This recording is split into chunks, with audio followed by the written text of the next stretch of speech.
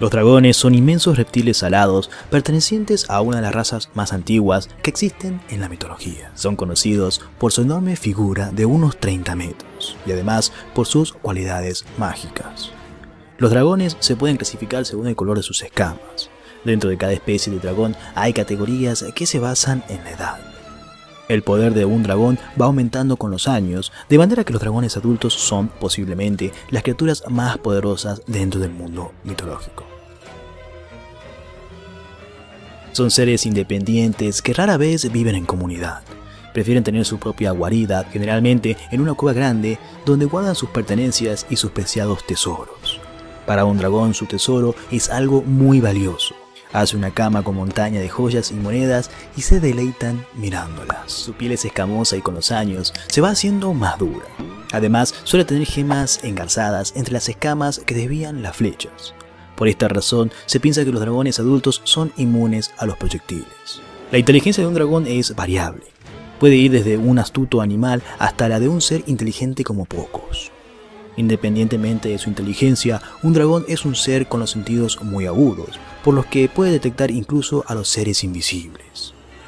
Además, un dragón tiene clariaudiencia natural en su guarida y escucha hasta el más mínimo sonido dentro de él. Los dragones se caracterizan por su ataque a través del aliento.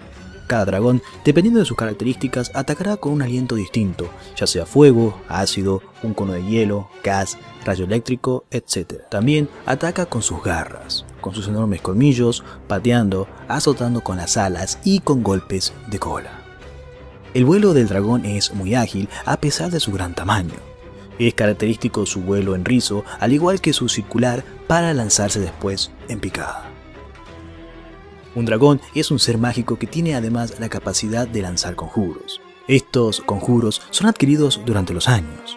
De ahí es que un dragón adulto sea más poderoso mágicamente que uno joven. Los conjuros lo lanzan innatamente, sin necesidad de libros ni objetos mágicos como catalizadores. Durante los años se han definido dos grupos principales entre los dragones, los buenos y los malvados. Normalmente no interactúan entre ellos ya que estas dos subespecies llevan separadas muchísimos años.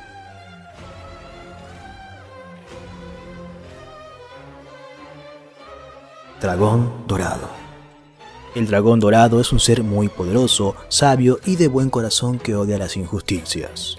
Nos encontramos posiblemente ante uno de los seres fantásticos más inteligentes y astutos. Su intelecto es muy superior al de los humanos y pocos seres cuentan con sus habilidades. Estos dragones pueden llegar a medir hasta 50 metros y poseen unas escamas con motas de color metálico que, con el paso de los años, se vuelven totalmente doradas. Tienen la capacidad de respirar agua y de polimorfizarse, y además pueden lanzar conjuros para detectar mentiras, así como traer suerte y bendecir. Su aliento puede ser como un cono de fuego o una nube de cloro venenosa. El hábitat de estos dragones es muy amplia y pueden sobrevivir en cualquier clima. Sus guaridas están aisladas y hechas de piedras y rocas. También pueden vivir en castillos custodiados por gigantes de las tormentas. Estos gigantes y los dragones dorados se ayudan mutuamente. Dragón plateado. Los majestuosos dragones plateados son, junto con los dorados, los dragones más benevolentes. Estos seres son muy amistosos y colaboradores, no suelen ser violentos y evitan el combate en la medida de lo posible. Tienen unas escamas plateadas y muy flexibles que le dan el aspecto metálico. Este tono plateado lo hace casi imperceptible entre las nubes, lo cual es una gran ventaja en combates aéreos. Su poderoso aliento puede ser un cono frío o una nube de gas paralizante. Pero un dragón plateado posee además la capacidad de lanzar conjuros para caminar por las nubes, crear muros de hielo, controlar el clima e invertir la gravedad. Este último suele usarse para lanzar a los enemigos al aire. Habitan en montañas altas, por lo que comparten el entorno con los dragones rojos, de los cuales son enemigos naturales, aunque también pueden formar sus guaridas entre las nubes. Dragón broncíneo este dragón posee unas preciosas escamas muy brillantes de color bronce y su tamaño es más que considerable.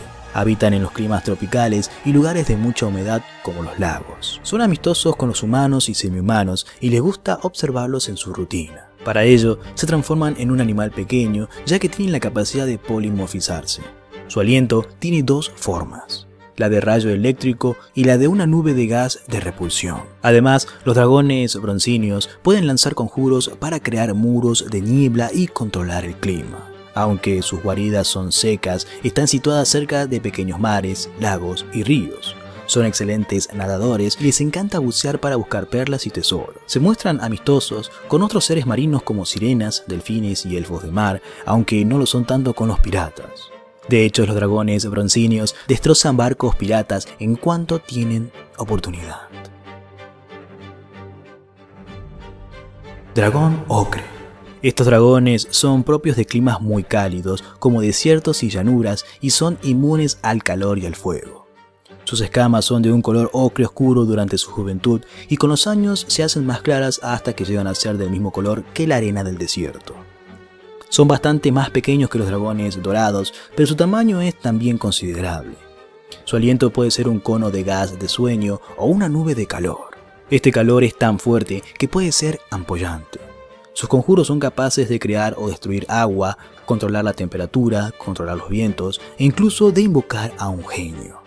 Son sociables con otros dragones ocres vecinos y con las esfinges, sin embargo, son enemigos naturales de los dragones azules con los que comparten el desierto. Dragón cobrizo los dragones cobrizos tienen escamas de un tono rojo anaranjado y metalizado, aunque con los años se van volviendo algo verdosas. Tienen un tamaño grande y una inteligencia bien desarrollada. Estos dragones se destacan por su especial sentido del humor. Cuentan chistes constantemente y les encanta escuchar nuevos acertijos. Durante un combate, saltan de un lado al otro y cuentan chistes para desconcentrar al enemigo y que éste actúe con nerviosismo. Al saltar, les gusta hacerlo en superficies irregulares e inaccesibles, por eso buscan rocas puntiagudas, y si no las encuentran, pueden lanzar conjuros para mover piedras. Su aliento puede ser un rayo eléctrico o una nube de gas de lentitud o una bocanada de ácido. Los conjuros que utilizan les permiten neutralizar venenos y crear muros de piedra. El hábitat de estos dragones está entre las montañas y las colinas. Comparten espacio con los dragones rojos, con los que se llevan especialmente mal por esta circunstancia.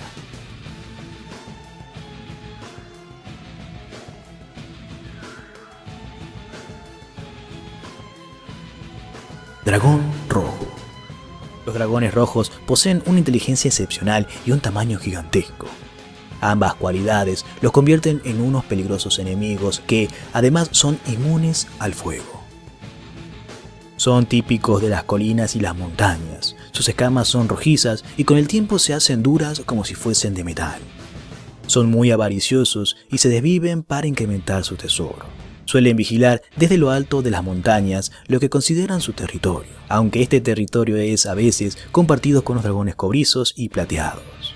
Pero su enemigo natural son los dragones dorados, a los que consideran su único rival se sienten superiores a casi todos los dragones y al resto de los seres, por lo que nunca se plantean si el enemigo es considerable o no.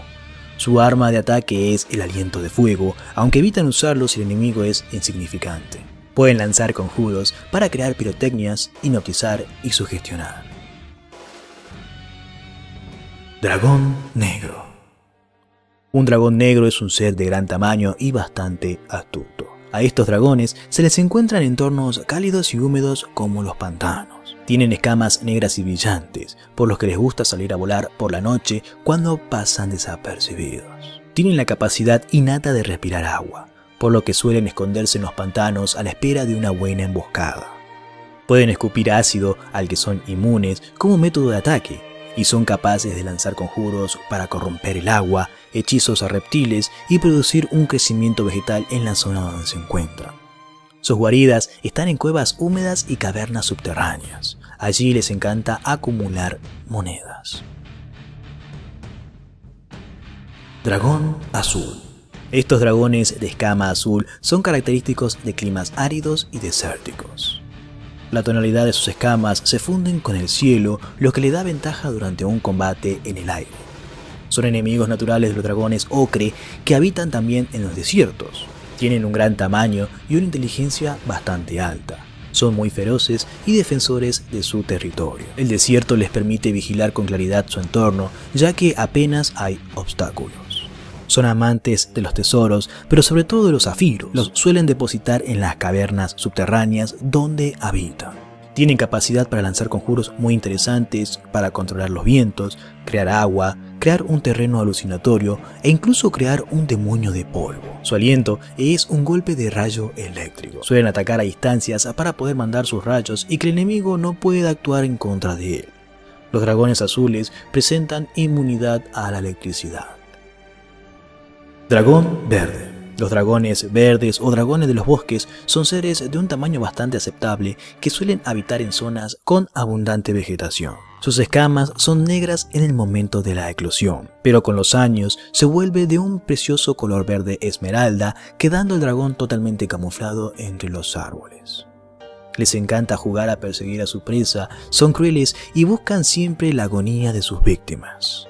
Su aliento emana una nube de cloro venenoso. Lanzan conjuros para respirar en el agua, provocar enormes crecimientos vegetales y sugestionar a sus víctimas o enemigos. Sus enemigos naturales son los gigantes de las colinas.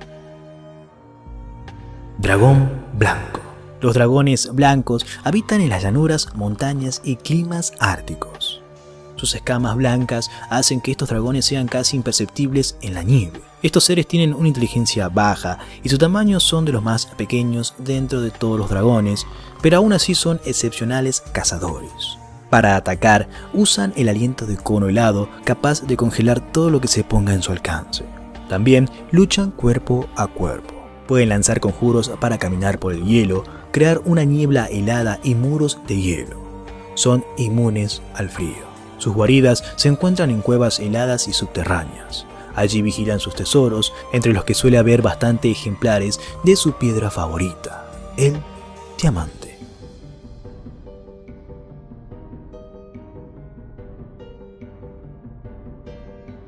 Si el video te gustó, por favor dale un pulgar arriba y compártelo con un amigo. En la caja de comentarios estarán mis redes sociales y el link de Discord para que te unas a nuestro servidor. Si es la primera vez que ves un video mío, por favor suscríbete y dale a la campanita para que te avise cuando suba un video nuevo. Mi nombre es Don T y te deseo muy buenas noches.